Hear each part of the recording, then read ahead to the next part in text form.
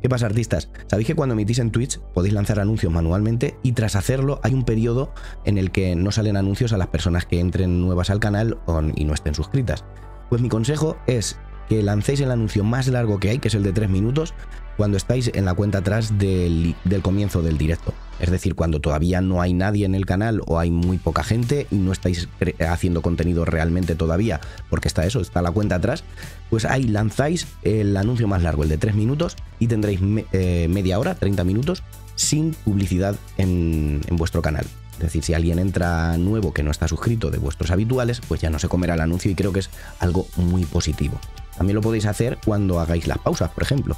Y así eh, los 30 minutos después de venir de la pausa, pues no, no tenéis eh, publicidad. Lo podéis lanzar de varias formas.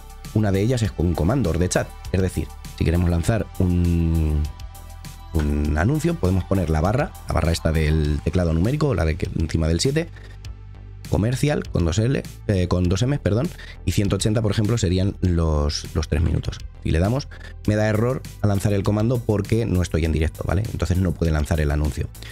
Eh, esto lo podéis asociar, por ejemplo, a un botón del, del, Stream Deck, aunque el Stream Deck creo que te deja, mm, o sea, que creo que el Stream Deck tiene una opción de poner anuncios de distintas longitudes, ¿vale?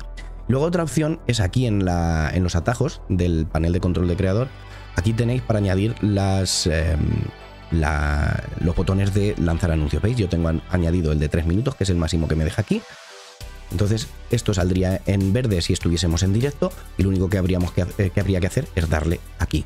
Y con eso ya estaría el anuncio de, de, 3 minutos y 30 minutos sin publicidad. Además, aquí en el panel, aquí arriba os aparecería, en los próximos 30 minutos no va a haber publicidad en tu directo o algo así.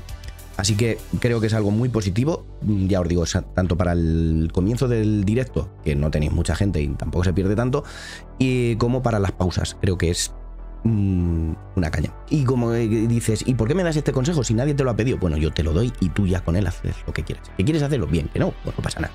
Y recuerda eso, que yo emito en twitch.tv barra las cositas de José Ra de vez en cuando, o en YouTube, o en cualquier cosa. Sea lo que sea, por ahí tenéis mis redes sociales y nos vemos siempre que vosotros queráis. Por supuesto, en cualquier vídeo directo Thank you.